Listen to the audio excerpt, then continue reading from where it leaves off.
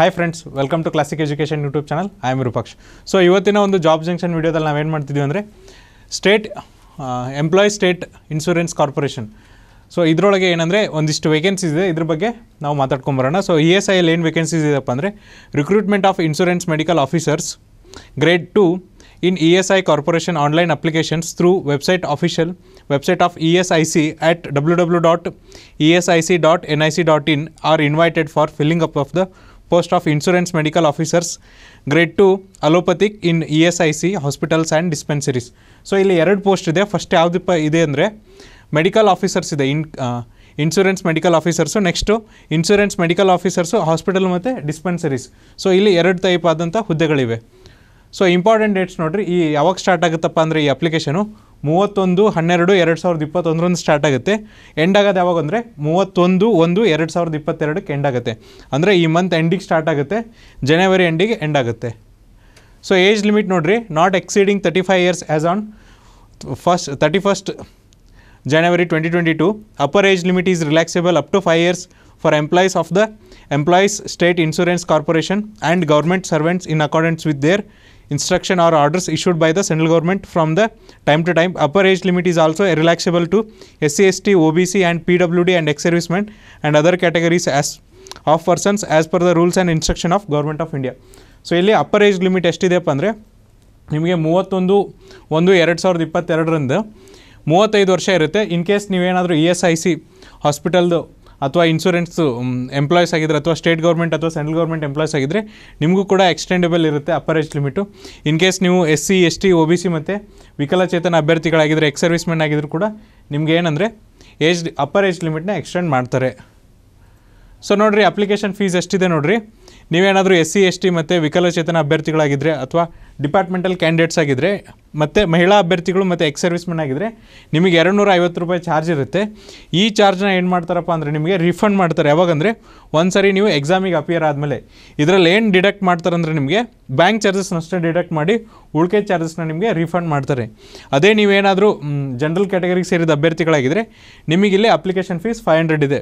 S C S T ಮತ್ತು other ಕ್ಯಾಟಗರೀಸ್ಗೂ fees ಇದೆ ಬಟ್ ಅವರು ಒಂದು ಸಾರಿ ಪೇಡ್ ಮಾಡಿದ ಮೇಲೆ ನೀವು ಎಕ್ಸಾಮ್ಸ್ ಅಟೆಂಡ್ ಮಾಡಿದ ಮೇಲೆ ಅವರು ರೀಪೇಡ್ ರೀಫಂಡ್ ಮಾಡ್ತಾರೆ. ಅದರೊಳಗೆ ಏನು ಕಟ್ ಮಾಡ್ತಾರಪ್ಪ ಅಂದರೆ ಬ್ಯಾಂಕ್ ಚಾರ್ಜಸ್ ಅಷ್ಟೇ ಕಟ್ ಮಾಡ್ತಾರೆ.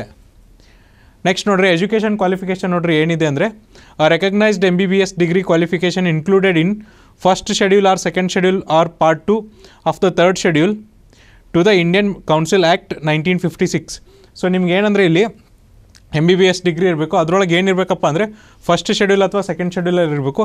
ಅಥವಾ ನೀವು ಏನಾದರೂ part two of third schedule ಮಾಡಿದರೂ ಕೂಡ ನೀವು ಕ್ವಾಲಿಫೈ ಆಗ್ತೀರಾ ಅಥವಾ ಎಲಿಜಿಬಲ್ ಆಗ್ತೀರಾ.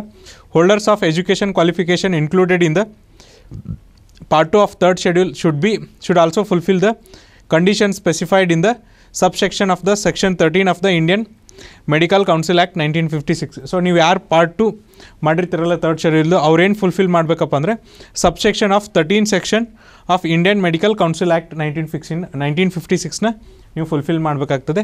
ಅದ್ರ ಜೊತೆಗೆ ಇನ್ನೂ ಒಂದು ಎಲಿಜಿ ಏನಪ್ಪ ಕ್ವಾಲಿಫಿಕೇಷನ್ ಇದೆ. ಏನಂದರೆ completion of compulsory rotating internship ನೀವೇನು ಮಾಡಿರ್ಬೇಕಂದ್ರೆ ರೊಟೇಟಿಂಗ್ ಇಂಪ್ ಇಂಟರ್ನ್ಶಿಪ್ನ ನೀವು ಕಂಪ್ ಕಂಪಲ್ಸರಿಯಾಗಿ ಕಂಪ್ಲೀಟ್ ಮಾಡಿರಬೇಕಾಗ್ತದೆ. ಜೊತೆಗೆ ಏನಂದರೆ candidate who have who may not have completed the rotating internships shall be eligible to appear for the written examination provided that if selected they shall have to satisfactorily completed the compulsory internship before the appointment in case ನೀವೇನಾದರೂ rotatory internship ಮಾಡಿಲ್ಲಪ್ಪ ಅಂತಂದರೆ, ನೀವು ಕೂಡ ಇಲ್ಲಿ attend ಆಗ್ಬೋದು.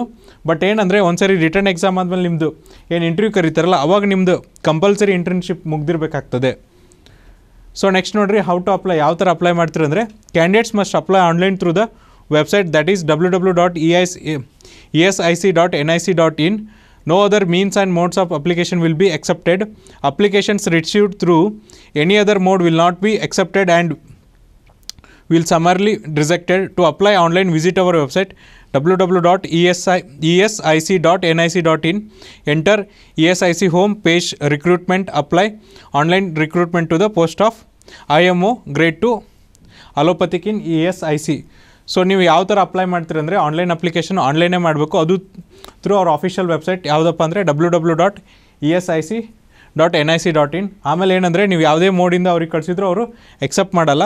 So ಒಂದ್ಸರಿ ನೀವು website click ಮಾಡಿದ ಮೇಲೆ ಅಲ್ಲೇನು ಮಾಡಬೇಕಪ್ಪ ಅಂದರೆ ಹೋಮ್ ಪೇಜಿಗೆ ಹೋಗಬೇಕು. ಆಮೇಲೆ ರಿಕ್ರೂಟ್ಮೆಂಟಿಗೆ ಹೋಗಬೇಕಾಗ್ತದೆ. ನೆಕ್ಸ್ಟ್ ನೀವು apply online for the recruitment to the I M O grade two ಆಫೀಸರ್ನ click ಮಾಡಬೇಕಾಗ್ತದೆ. ಆಮೇಲೆ ನಿಮ್ಮದು ಆನ್ಲೈನ್ ಅಪ್ಲಿಕೇಶನ್ ಸ್ಟಾರ್ಟ್ ಆಗುತ್ತೆ. ನೆಕ್ಸ್ಟ್ ನೋಡಿರಿ ಮೋಡ್ ಆಫ್ ಸೆಲೆಕ್ಷನ್ ಯಾವ ಥರ ಇರುತ್ತೆ ಅಂದರೆ ನಿಮಗೊಂದು ರಿಟರ್ನ್ ಎಕ್ಸಾಮಿನೇಷನ್ ಇರುತ್ತೆ. ರಿಟರ್ನ್ ಎಕ್ಸಾಮಿನೇಷನ್ ಆದಮೇಲೆ ನಿಮ್ಗೆ ಇಂಟರ್ವ್ಯೂ ಕಂಡಕ್ಟ್ ಮಾಡ್ತಾರೆ. ಆಮೇಲೆ ನಿಮಗೆ ಸೆಲೆಕ್ಷನ್ ಮಾಡ್ತಾರೆ. ಸೊ ರಿಟರ್ನ್ ಎಕ್ಸಾಮಿನೇಷನಲ್ಲಿ ಏನಿರುತ್ತಪ್ಪ ಅಂದರೆ ಇಲ್ಲಿ ಎರಡು ಪಾರ್ಟ್ ಇರುತ್ತೆ. ಎರಡು ಸೆಕ್ಷನ್ ಇರುತ್ತೆ. ಪ್ರತಿಯೊಂದು ಸೆಕ್ಷನ್ಗೂ ನೂರು ಮಾರ್ಕ್ಸ್ ಇರುತ್ತೆ. ಸೆಕ್ಷನ್ ಒನ್ನಲ್ಲಿ ಏನಿರುತ್ತೆ ಅಂದರೆ ಜನರಲ್ ಮೆಡಿಸಿನ್ ಆ್ಯಂಡ್ ಪೀಡಿಯಾಟ್ರಿಕ್ಸ್ ಇರುತ್ತೆ. ಇದರಲ್ಲಿ ನಿಮಗೆ ಜನರಲ್ ಮೆಡಿಸಿನಿಂದ ಎಂಬತ್ತು ಕ್ವಶನ್ಸ್ ಕೇಳ್ತಾರೆ ಎಂಬತ್ತು ಮಾರ್ಕ್ಸಿಗೆ ಪೀಡಿಯಾಟ್ರಿಕ್ಸಿಂದ ನಿಮಗೆ ಇಪ್ಪತ್ತು ಕ್ವಶನ್ಸ್ ಕೇಳ್ತಾರೆ ಇಪ್ಪತ್ತು ಮಾರ್ಕ್ಸಿಗೆ ಟೋಟಲ್ ಹಂಡ್ರೆಡ್ ಮಾರ್ಕ್ಸಿಗೆ ಇರುತ್ತೆ. ನೆಕ್ಸ್ಟು ಸೆಕ್ಷನ್ ಶೋ ಏನಿರುತ್ತಪ್ಪ ಅಂದರೆ ಸರ್ಜರಿ ಗೈನಕಾಲಜಿ ಒಬ್ಸ್ಟೆಟ್ರಿಕ್ಸ್ ಇರುತ್ತೆ. And preventive and social medicine ಇರುತ್ತೆ. ಇಲ್ಲಿ ನಿಮ್ಗೆ ಏನು ಮಾಡ್ತಾರೆ ಅಂದರೆ ಸರ್ಜರಿಯಿಂದ ಮೂವತ್ತ್ನಾಲ್ಕು ಕ್ವಶನ್ ಕೇಳ್ತಾರೆ. ಗೈನಕಾಲಜಿಂದ ನಿಮಗೆ ಮೂವತ್ತ್ಮೂರು ಕ್ವಶನ್ಸ್ ಕೊಡ್ತಾರೆ. ಪ್ರಿವೆಂಟಿಟಿವ್ ಆ್ಯಂಡ್ ಸೋಷಿಯಲ್ ಮೆಡಿಸಿನಿಂದ ನಿಮಗೆ ಮೂವತ್ತ್ಮೂರು ಕ್ವಶನ್ಸ್ ಕೊಡ್ತಾರೆ. ಸೊ ಪ್ರತಿಯೊಂದು ಕ್ವಶನ್ಸು ಒಂದು ಮಾರ್ಕ್ಸ್ ಕ್ಯಾರಿ ಆಗುತ್ತೆ. ಹಾಗಾಗಿ ಇಲ್ಲಿ ಕೂಡ ನಿಮ್ಗೆ ಏನಂದರೆ ಹಂಡ್ರೆಡ್ ಮಾರ್ಕ್ಸಿಗೆ ಎಕ್ಸಾಮ್ ಇರುತ್ತೆ.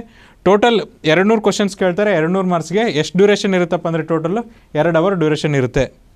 ಸೊ ಇದಾದಮೇಲೆ ನಿಮ್ಗೆ ಏನು ಮಾಡ್ತಾರಪ್ಪ ಅಂದರೆ ಇಂಟರ್ವ್ಯೂ ಕಂಡಕ್ಟ್ ಮಾಡ್ತಾರೆ. ಇಂಟ್ರ್ಯೂ ಎಷ್ಟು ಮಾರ್ಕ್ಸಿಗೆ ಇರುತ್ತೆ ಅಂದರೆ ಐವತ್ತು ಮಾರ್ಕ್ಸಿಗೆ ಇರುತ್ತೆ. ಎರಡನ್ನೂ ಫೈನಲ್ ಮಾಡ್ಕೊಂಡು ನಿಮಗೆ